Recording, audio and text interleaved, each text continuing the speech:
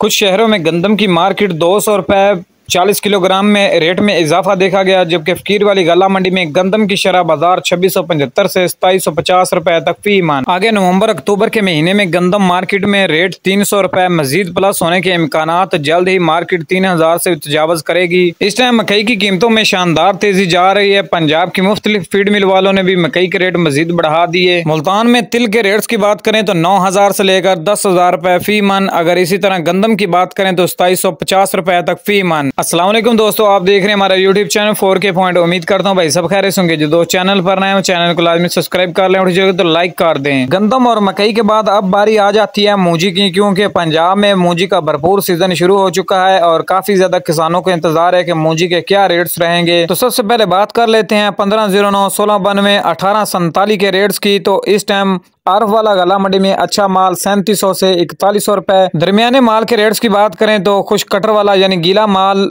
تینتیس سو سے لے کر چھتیس سو اسی روپے فی من۔ سپر فین کے ریٹس کی بات کریں تو پچیس سو سے لے کر ستائیس سو پچاس، جبکہ نارمل مال اٹھارہ سو سے لے کر دو ہزار روپے فی من۔ ایری سکس ہائیبریڈ کی بات کریں تو اچھا مال تیئیس سو سے لے کر پچیس سو بیس روپے، جبکہ نارمل مال اکیس سو سے لے کر تیئیس سو روپے، خراب ڈیمیج مال پندرہ سو سے سترہ سو روپے فی من۔ مکئی کی بات کریں تو عرف والا گلا منڈی میں اٹھائیس سو سے لے کر تین ہزار پچاس، جبکہ اکڑا گالا منڈی میں تین ہزار سے لے کر تینتیس سو روپے فی من اور ونڈا کوالٹی مکئی آر والا گالا منڈی میں بائیس سو سے لے کر پچیس سو، چھبیس سو روپے تک بھی سیل کی جا رہی ہے۔ اسی طرح گندم پچیس سو، پچاس سے چھبیس سو، اسی روپے۔ کیونکہ کافی دوستوں کو پتا ہے کہ مکئی کا سٹاک بہت ہی کم ہے۔ آنے والے دنوں میں مارکیٹ مزید تیز ہو سکتی ہے۔ تو اس حساب سے ہی مارکیٹ میں مال آنا شروع ہو چکا ہے۔ اور گندم والے چند ابھی بھی کسان باقی ہیں، جنہوں نے گندم سٹاک کی ہوئی اور پاری آرتی حضرات بھی، جنہوں نے گندم کے کے وافر سٹاک موجود ہیں۔ لیکن شروع شروع میں جو خریداری تھی وہ اٹھائی سو سے تین ہزار کی تھی۔